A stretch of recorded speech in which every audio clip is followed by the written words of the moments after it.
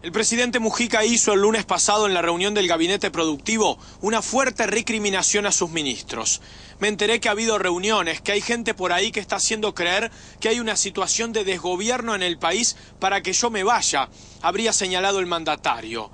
El presidente sostuvo también que a mí, a las buenas, me llevan a cualquier lado, pero recuerden que soy un viejo guerrero que llegó a la presidencia contra lo que decían todos, y este presidente está más firme que una estaca. En las declaraciones a Radio El Espectador, el vicepresidente Astori confirmó este episodio. Fue eso, efectivamente. Eh, sí. Palabra más, palabra menos. Sí, pero que- sí, y, y es un drama que, que se siga, este, digamos, llegando a la prensa con, aspectos que yo creo que deben quedar en, el ámbito privado de cada reunión, ¿verdad?